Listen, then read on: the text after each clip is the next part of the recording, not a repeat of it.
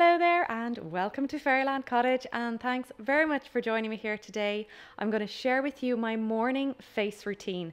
It is really simple, it's natural, there's no harsh chemicals and this is what works for my skin which is sensitive and fair and full of freckles. Let's get into the video. I start off with cleanser. Now I'm going to show you this in my living room I'll rinse with warm water first. The warm water will open the pores on your face and make it easier for you to clean it. Next, I use a face powder. This is one I make. I'll leave the link below if you want to check that video out.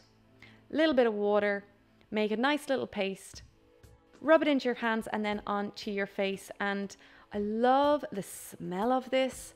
I love the fact that it cleans your face without being drying. It's not harsh at all.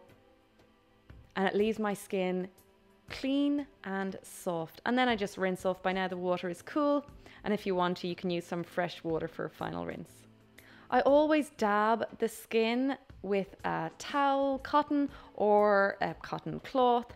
You always want to dab instead of rubbing because the skin on your face is super delicate. Next, I'll use a toner. The one I use is rose water. I've been using this for years. It's simple, it's easy to make, or you can also buy in a health shop.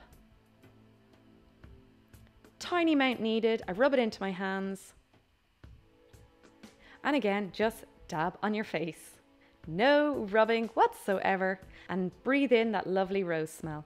I finish off with moisturizer. I use rosehip oil. I've tried many different oils. This one I find the best. It's highly moisturizing. It's great for very sensitive skin. It's not thick at all, so it's not going to bring you out in spots. And I just again dab it on my face.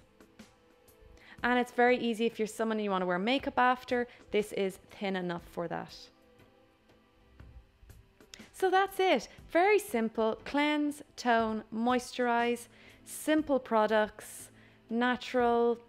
I'd love to know down below or over on Instagram what you use as your face routine in the morning, how you've simplified it, what products work best for you, or if you're literally somebody who just splashes water on your face and off you go.